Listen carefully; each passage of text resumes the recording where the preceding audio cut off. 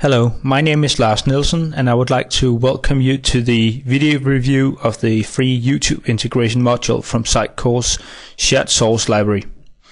So what's the Shared Source Library? It's uh, basically an open library where you can download more than 80 different free components at this present time and there might be even more in future. And uh, this is one of the components this component I'm going to show you today would be the uh, YouTube integration module. Uh, and basically what it does, it is it allows traditional regular editors and uh, uh, web admins to modify the design of the page and add live integration and syndication from YouTube. So let's have a look at uh, how you do that.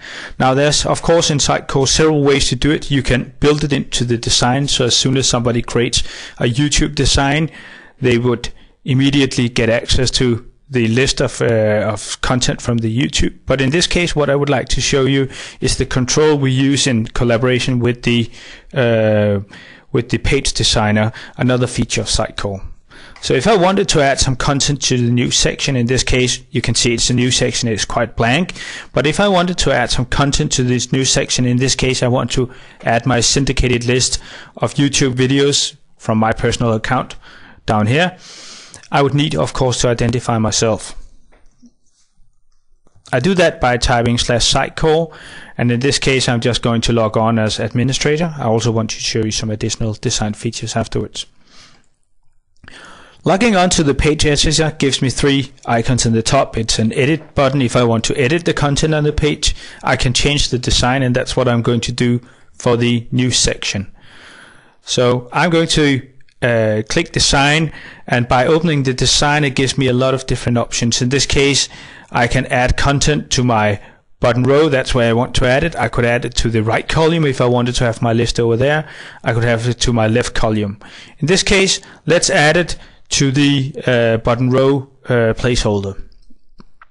I click add and that gives me an, a contextual uh, list of components I can add on this location. Now we have the YouTube integration. I could add a live earth map, but of course it depends on where you are on the website. So if I, if I was in, for example, uh, a specific section, a product section, we might not allow the editor to add something like a YouTube integration and that option wouldn't be here. Okay, I, I I'm going to add the YouTube integration and uh, I also need to do the, in order to do this, I also need to add uh, from where in my media library. My media library is where I store my repository, and that's also where I can visually see my YouTube uh, components or my YouTube videos uh, syndicated into even into Sitecore. But I'm going to select from uh, where I'm going to use that, and in this case, let me just um, manually type in the URL And now let's assume I already know the location. Like that. And then let's save the design of the page.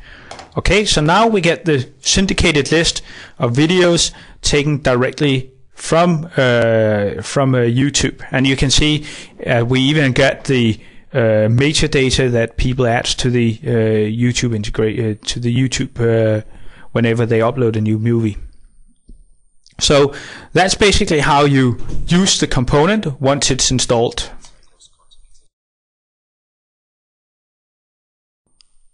Alright, so now that we have uh, shown you how to use the control directly from your page uh, designer, uh, which is very simple. All you need to do is navigate to the page you want to add your YouTube list to, and then add it.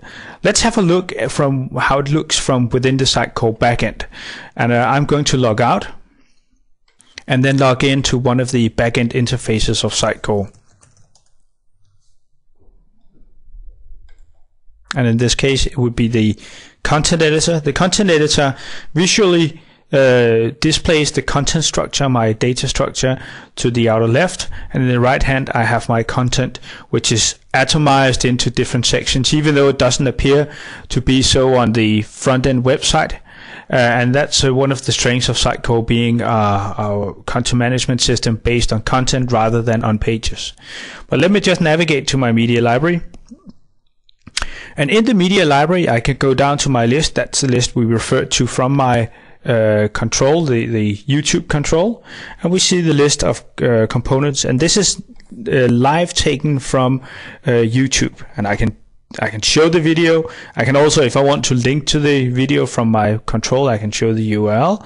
But you also see the additional metadata down here, uh, the title, the keywords, and so on. And you can incorporate even all of those. We only did the title and the description. But you could also do search for keywords on your own website and that will still honor this uh, control.